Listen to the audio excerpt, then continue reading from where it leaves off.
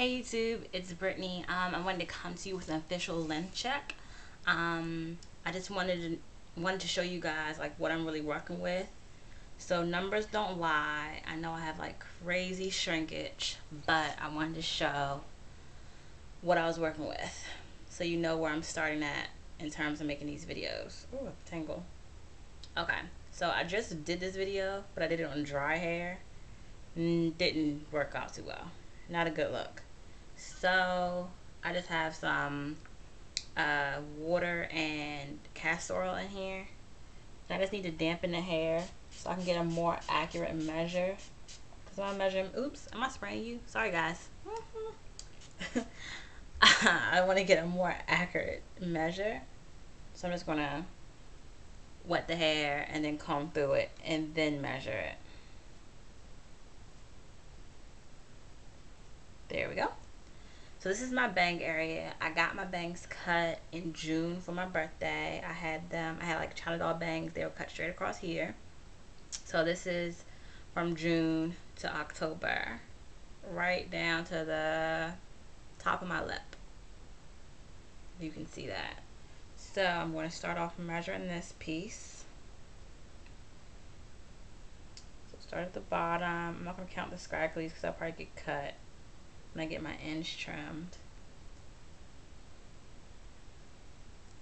So wait, where is this? So this is right here. And that is, where is that? Seven and a uh, little between the seven and two eighths. It was between the quarter and a half. So, oops, sorry guys right here seven and two eighths.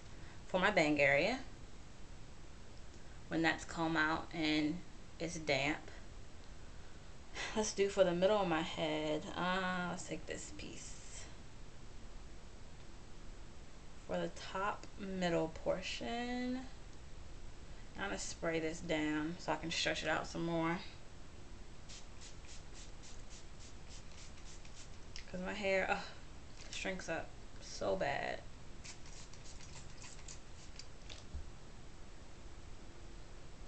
Okay, so that's kind of damp. Damp enough for me to comb through.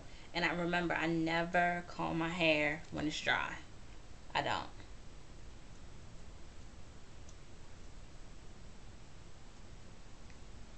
So I'm just combing this.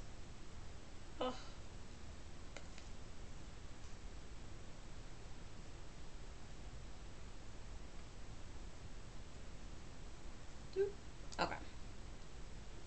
So this is detangled and damp. So I'm going to take the tape measure and measure this. You guys can't see. Hope you guys can see. And do this piece. And this is at nine inches. So I have my bangs at seven and two eighths, the middle portion of my head at nine inches. And then let's do this piece right here.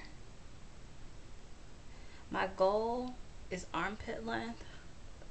I'm pretty close to it, but I'll get a more accurate picture when my hair is straight Cause it's just hard for me to envision my hair like this long when it's like so tightly coiled and curly right now. So I'm gonna stretch this piece out and I'm gonna dampen it a little bit more.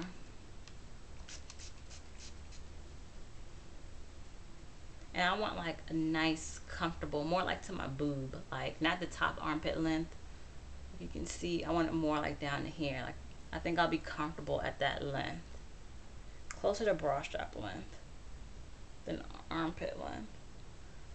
So this is one little section right here. I turn to the side so you can see. Then I can't see, but whatever. So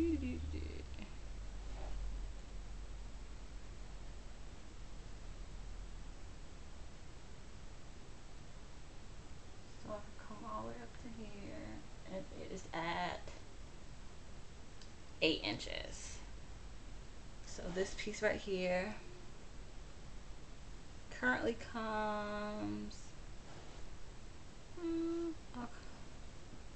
right here on me. So it depends on how much she trims off. It's almost at arm length. I'm pretty close. I'm really excited to see how it looks straight. But that's how long that piece is. So I have what, seven and two eighths, nine, eight inches right here. Let's do like a middle, like random side piece. And I wish I had somebody to grab the back of my hair so I could see like where it hits me on my back. But nobody's available at the moment. So I'm just gonna work out with what we have.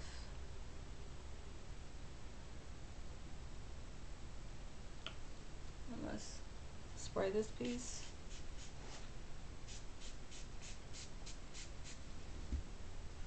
And get this saturated.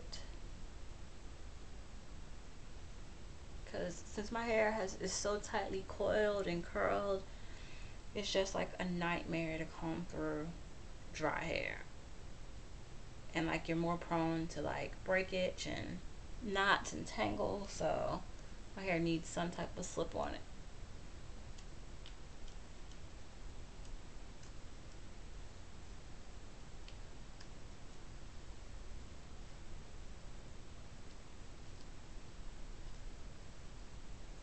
There we go. So this is this piece to tangle. It comes out to here. So let's measure this piece.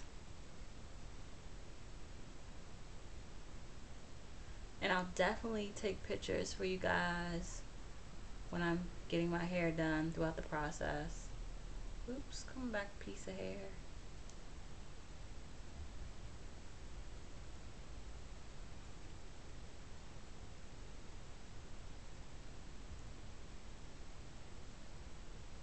Is so hard to grasp and measure.